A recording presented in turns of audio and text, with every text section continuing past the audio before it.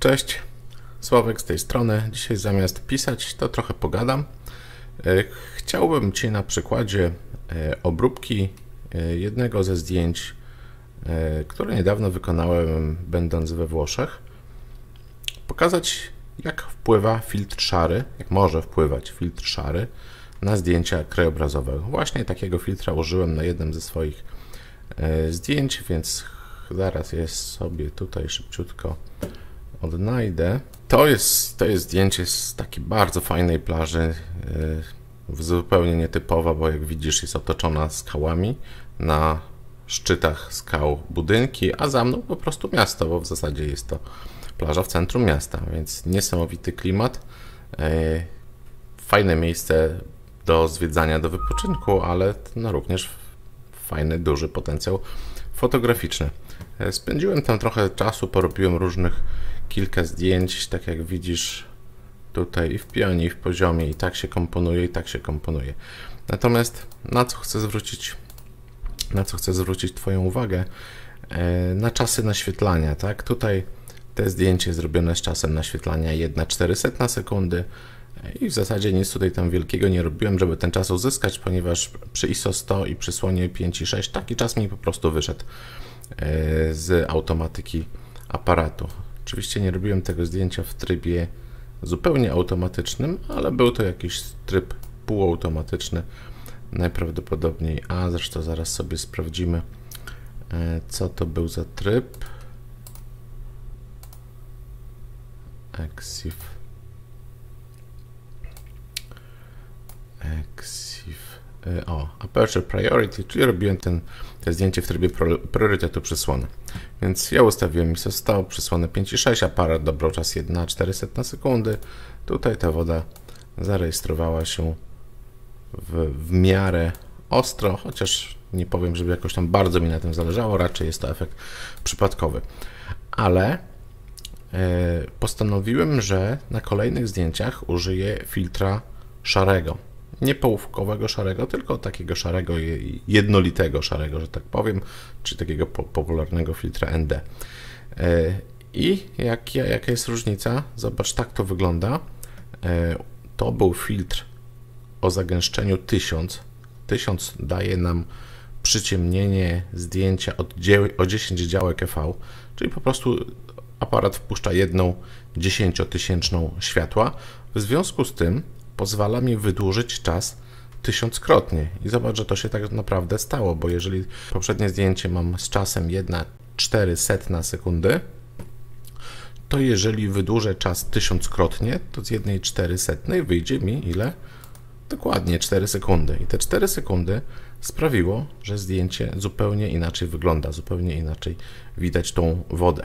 Oczywiście problem tutaj może się pojawić z pewnymi poruszeniami, które są niepożądane, tak? Bo aparat był oczywiście na statywie i to jest podstawowy warunek. Woda się rozmyła bardzo fajnie, natomiast no, tutaj mi zależało koniecznie na tym ptaszku, który e, był tutaj takim fajnym punktem odniesienia i wydaje mi się, że na tym zdjęciu nawet jest to akceptowalne, ponieważ to jest powiększenie 100% i jest tu ok.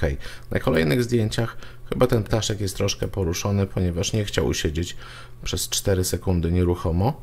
Jak widzisz, ten efekt jest różny. Tak, tutaj jest najgorzej, ale na tym pierwszym zdjęciu jak najbardziej jest, jest fajnie. Więc ten kadr mi się najbardziej podoba. E, tutaj coś jeszcze się dziwnego zadziało, że mam jakiś taki element tutaj, nie wiem, włos na matrycy czy coś.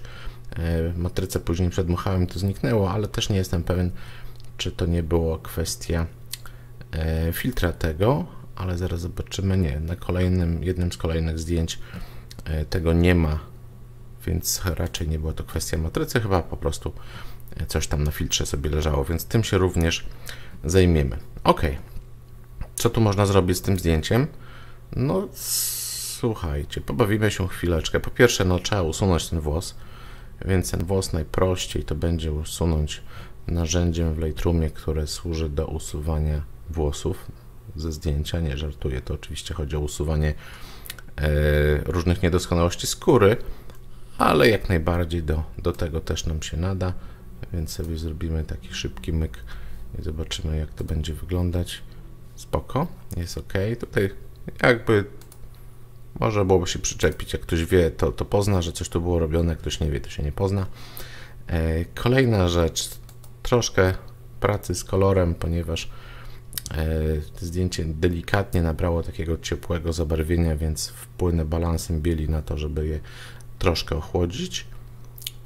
Mm, delikatnie rozjaśnię, ale w zasadzie to rozjaśnię tylko cienie, tak żeby więcej informacji było w cieniach. Natomiast tu w światłach e, w światłach jest ok, chociaż można byłoby delikatnie światła przyciemnić i poprawić generalnie wyrazistość tego zdjęcia. To jest taki w zasadzie klasyczny sposób, w jaki obrabiam zdjęcia, przynajmniej na początku. Jeżeli nie chcę się z nimi długo bawić, to moja obróbka polega właśnie na zmniejszeniu kontrastu globalnego i na wzroście kontrastu lokalnego, czyli tak zwanego clarity.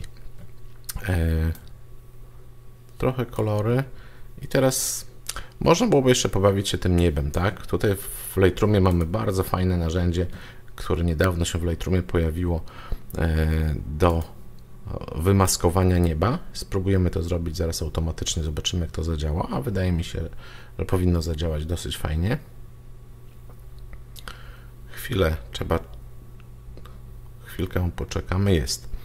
E, niebo się zaznaczyło, zobaczmy w jaki sposób można na nie wpływać, widzisz, że dosyć fajnie. Natomiast co my chcemy z tym niebem zrobić? Tak naprawdę e, dodamy mu troszkę dehaze, co pozwoli delikatnie uwypuklić chmury i wydaje mi się, że ja bym je jeszcze trochę ocieplił, żeby pasowało do reszty kadru. Świetnie. E, ok, jeżeli chodzi o kadr, o kompozycję, może troszkę za dużo tego dołu tutaj jest na tym zdjęciu, więc zobaczymy jakby to wyglądało bez tego dołu.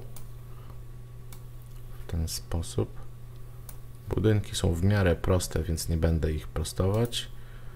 E, dorzucimy trochę koloru na wodzie, czyli wyeksponujemy po prostu nasycenie tego, tego niebieskiego na wodzie. Ok. Jeszcze więcej światła.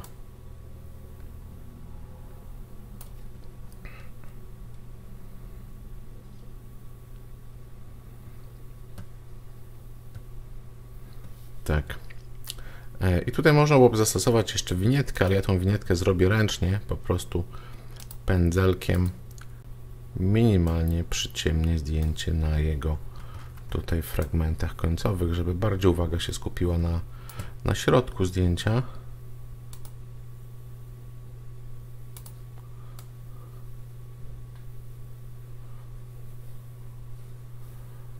W ten sposób.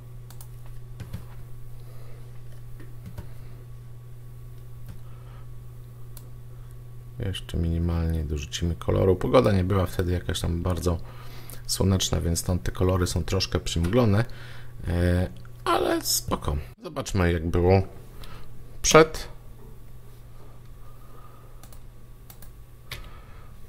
Tak wyglądało zdjęcie prosto z aparatu. Tak wygląda zdjęcie po obróbce. Jak widzisz, obróbka była króciutka, trwała kilka minut. Obróbka nie musi być długa grunt, aby doprowadzić zdjęcie do takiego efektu, jaki sobie wymyśliliśmy. Tyle na dzisiaj z mojej strony. Pozdrawiam Cię serdecznie.